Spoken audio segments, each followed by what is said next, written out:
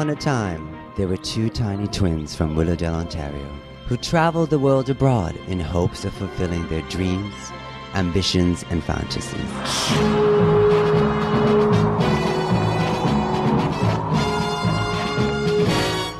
place to stay.